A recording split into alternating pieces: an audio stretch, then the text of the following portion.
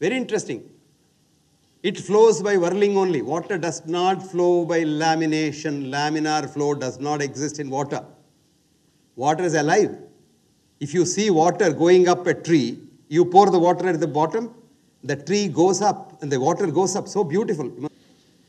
I want the physiology department in every college to buy this book. Every department. This is called Body Electric. This man must be venerated. He must be given not one Nobel Prize but two. But he was demonized. This man showed that every human cell is a semiconductor. And he showed that energy, electric energy, can cure things like even cancer. His name is Robert Becker.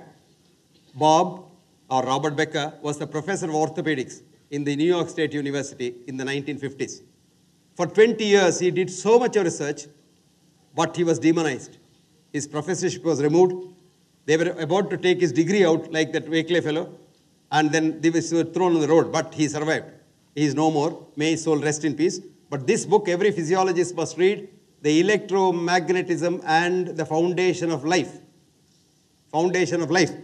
And I am working with one of his associates. I'll show you something.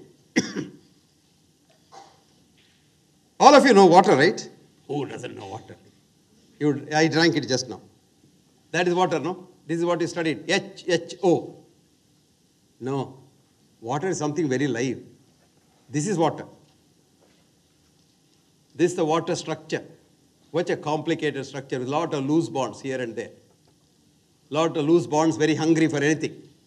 So what we did, we put nano silver particles in these loose bonds and got some nano silver water. Simple nano silver water. It's water with some nano silver particles. It's very simple to do that. Might cost about 5 rupees a bottle, big bottle. You take 15 ml of that three times a day, malaria gets cured in three days. Dengue, anything. And I, I have been running after this, the great government people, anybody is there in authority. I didn't get permission. So I had to go to Africa to do a study. We did 100 patients, 100 patients survived. Not statistical science, 100 patients survived, and we have published that.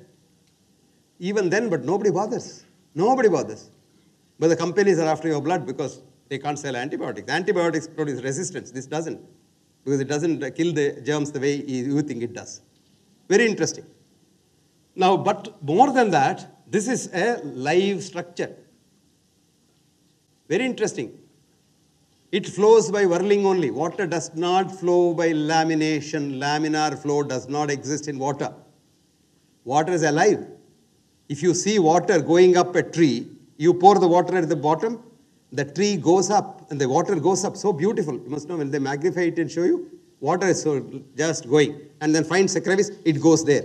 And somewhere it goes, it goes, it goes to the tree top. So we did something with water.